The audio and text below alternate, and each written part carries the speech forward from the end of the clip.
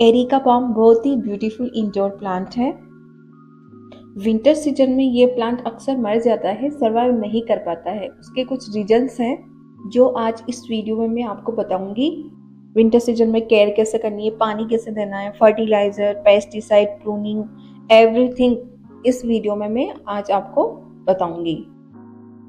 और एक प्लांट से आप कई सारे प्लांट्स कैसे बना सकते हो, उसके बारे में भी मैं आपको बताऊँगी।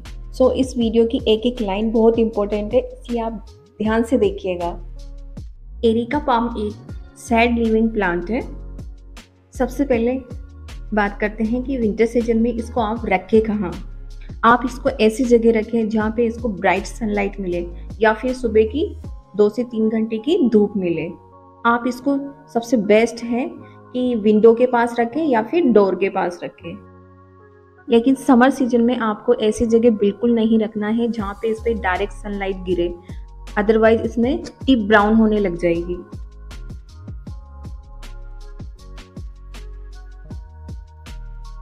अब बात करते हैं सॉइल कैसी लेनी है इसको ग्रो करने के लिए।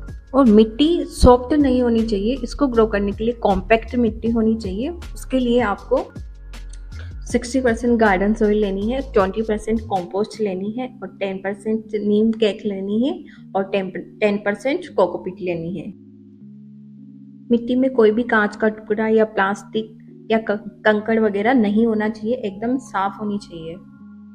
अब बात करते हैं विंटर सीज़न में आपको इसको पानी कब देना है।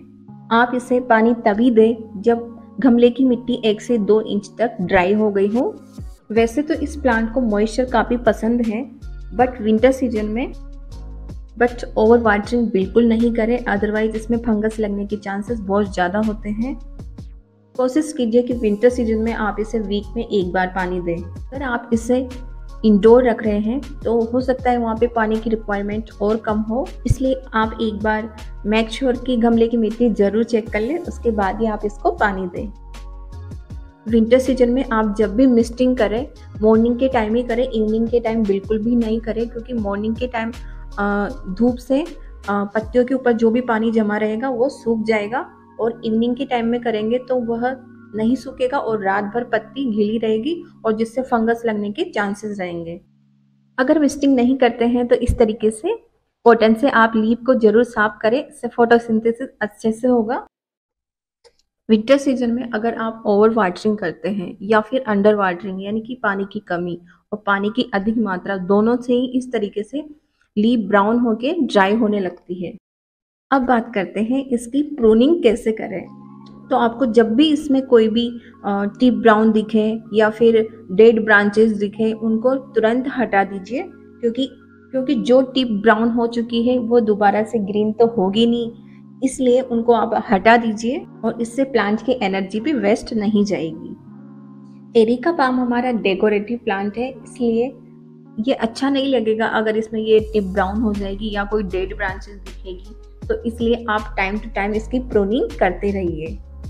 अगर आपके एरिका पाम में कुछ ब्रांचेस इस तरीके से कम्प्लीटली ड्राई हो गई है तो आप टेंशन मत लीजिए, उनको पहले रिमूव कर दीजिए, क्योंकि जब भी न्यू ब्रांचेस निकलेगी तो जो ओल्ड ब्रांचेज है, वो ड्राई हो जाएगी।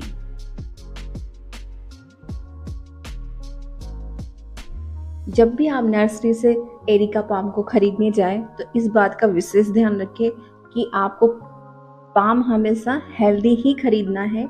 कोई भी फंगस लगा हुआ को किसी भी तरीके का डिज़ीज़ इन्फेक्टेड प्लांट आपको नहीं लेना है। अदरवाइज़ वो सरवाइव नहीं कर पाएगा। अब बात करते हैं, एक प्लांट से कई सारे प्लांट कैसे बनाएँ? अगर आपका एरिका पाम तीन से चार साल पुराना हो गया है तो उसमें कई सारी ब्रांचेस निकल आई होगी। तो उन ब्रांचेस को, यानी कि रूट डिवीज़न मेथड द्वारा आप उनको सेपरेट करके और न्यू प्लांट बना सकते हो। ये देखिए ये मेरा तीन से चार साल पुराना एरिका पाम है और इसमें कई सारी ब्रांचेस निकल आई है आप देख सकते हैं। इस तरीके से इसमें कई सारे बेबी पप्स निकल चुके हैं आप इनको सेपरेट करके दूसरा प्लांट बना, बना सकते हो। ये वाला बेबी पप्स आप जो देख रहे हैं इसको हम सेपरेट कर लेंगे और दूसरे पॉट में लगा देंगे। इसको एक नाइफ की सहायता से आप इस तरीके से कट कर लीजिए। इस तरीके से आप एक एरिका पम्प से कई सारे प्लांट्स तैयार कर सकते हैं।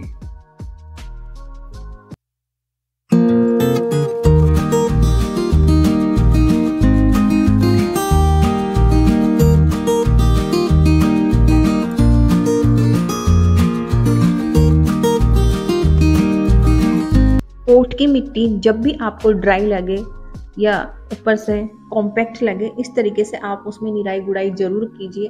इससे पानी अच्छे से एब्जॉर्ब रहेगा और एरेशन भी अच्छे से होगा।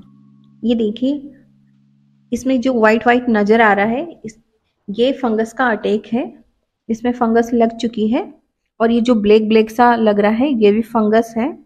तो इसको हम कैसे रिमूव करें, उसके लिए हमें किसका स्प्रे करना है? इसके लिए आपको पानी में दो से तीन एमएल नीम ऑयल मिलाना है और उसको मिक्स करके और किसी भी कॉटन की सहायता से आप स्टेम को अच्छे से क्लीन करें। ये देखिए, इस तरीके से आपको क्लीन करना है, जिससे ये फंगस रिमूव हो जाएगी। वीक में दो बार आप इस प्रोसेस को बिल्कुल करें, जिससे ये फंगस धीरे धीरे कम हो जाएगी। अब बात करते हैं फर्टिलाइज़र की। वैसे तो विंटर सीज़न में एरिका पाम को फर्टिलाइज़र की विशेष ज़रूरत नहीं होती है बट हम अगर पोर्ट में इसे लगाते हैं तो कोई ना कोई फर्टिलाइज़र तो हमें देना ही पड़ता है।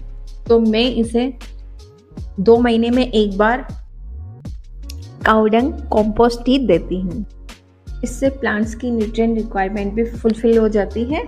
इसे कैसे बनाना है, इसका वीडियो मेरे चैनल पे आपको मिल जाएगा तो आप वहाँ से ज़रूर देख सकते हो। इसके बाद नेक्स्ट मैं देती हूँ सी वीट फर्टिलाइज़र इसको वन लीटर वाटर में तीन से पाँच एम मिलाना है और मिक्स करके, जैसे अपन प्लांट को पानी देते, वैसे ही आपको इस सॉल्यूशन को प्लांट में दे देना है। अगर वीडियो अच्छी लगी हो तो प्लीज़ लाइक एंड सब्सक्राइब ज़रूर कीजिएगा। आई होप इस वीडियो में मैंने सारे पॉइंट्स कवर करे हो।